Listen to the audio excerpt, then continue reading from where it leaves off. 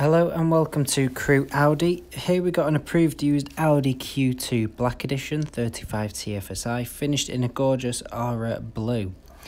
The vehicle comes with LED headlights as well as LED daytime running lights which provide incredible visibility in all conditions and as you can see it looks gorgeous finished in this blue with the nice contrasting black grille around the front which is part of the black styling pack.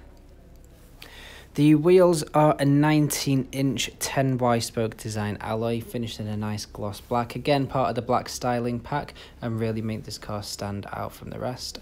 On the side we have some S-Line branding badges meaning the trim on this car brings enhanced styling and upgraded alloys to the vehicle and we have some nice contrasting black wing mirrors, black trim around the windows and also privacy glass in the back, again all part of the black styling pack along with the nice black pillar there as well. In the boot, you can see we have a spacious area with plenty of room for a few suitcases and the weekly shop. But if you do find yourself needing a little bit more room, then you can fold down the rear seats uh, with a 60-40 split to create an even bigger boot space. And for added ease, the boot lid is also power assisted. And now as we move around into the back of the car, you can see the interior is finished in this gorgeous black leather and fabric with room for up to three passengers to sit in comfort with plenty of legroom as well. And the Isofix anchor seat points allow you to easily attach your child's car seats. Moving on into the front, you can see that we have a small dial on the door that is used to electronically adjust the wing mirrors. We get some nice contrasting silver trim and door handles. And we get some nice S-Line branding badges on the door sills as well as the two front sport seats which are nicely embossed with the S-Line logo.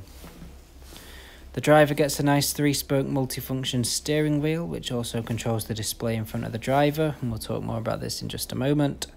And to the right we get our automatic headlights. In the center of the dashboard, you will find your multimedia interface.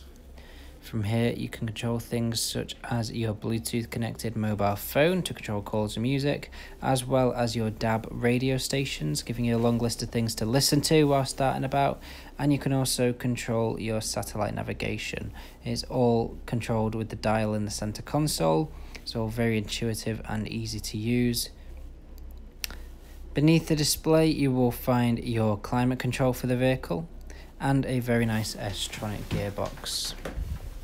Now the display in front of the driver is controlled from the steering wheel, allowing you to change your radio stations directly in front of you, making it even easier whilst driving.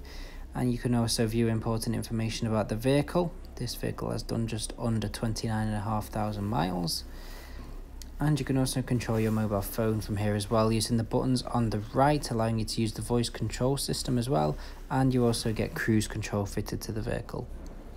So if you would like to know any more about this Audi Q2 here at Crewe Audi give us a call on 01270 864 091. Thank you for watching.